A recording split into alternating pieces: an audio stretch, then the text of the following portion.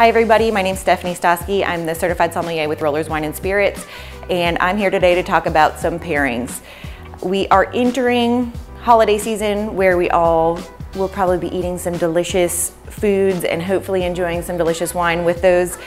Um, so I've chosen some wines that will take their place on, on my table potentially. We're starting with the Oysterman. This is a Muscadet from the Loire Valley of France. It is a collaboration between Casey Davison of Toadfish Outfitters and Frederick Corriher. Both are Charleston residents. And they are donating money back to replenish the oyster beds in the low country. For every bottle sold, 10 square feet of oyster bed will be replanted. Very important to me. I spend a lot of time on the water here, and so that keeps our low country waters fresh. This wine I chose for the Feast of Seven Fishes. If you happen to be participating in that tradition, goes with anything seafood um, and also great for oyster roast, clam bakes. It is um, um, shellfish season in the low country, so perfect for those occasions. Next, I chose a rosé to pair with pork or ham that might be found on some of our tables this holiday season. This is by Mary Taylor we had the privilege of meeting her a couple months ago via Zoom, of course, and I absolutely loved her. She's been working for a couple decades with European wines and has fallen in love with the how, how each region has a sense of place or terroir. So she developed her line based on that, yes, which confuses most Americans. She built her business on. But this is 100% Gamay, will go great with that saltiness in your ham.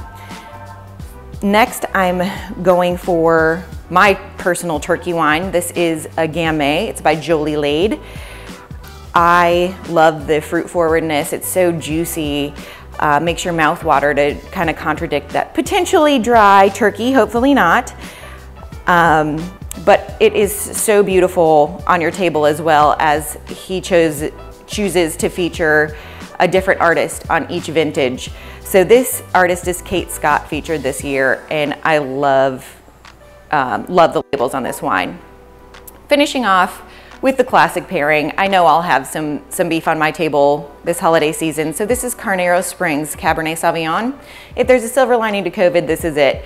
Um, we've had some great vintages with a plethora of fruit in Napa, but then COVID hit and some of the Napa wineries weren't able to make it through that fruit. So they then sell it off to confidential wine wineries and they bottle it under a different label.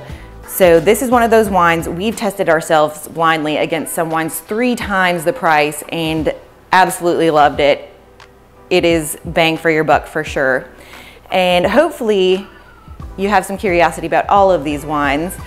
And if so, then you can come in and we, this is one of the flights we are featuring this holiday season. Um, this is our holiday flight, so you can come in, they're presented beautifully, great gift. Other flights include the Bubbles box, um, the Natural box, the hashtag Napa Strong box, box, which will feature wineries that had some destruction in the Napa fires of this year, and then the Lady box that celebrates all of the female winemakers. So if you're interested in those, come in and check us out. We'd love to see you here at Rollers.